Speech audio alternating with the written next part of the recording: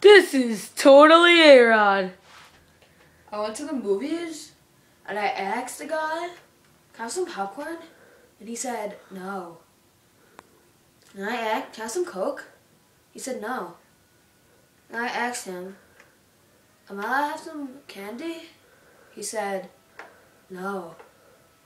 And I asked, can I have anything? He said, no. I said, okay. That was totally A-Rod.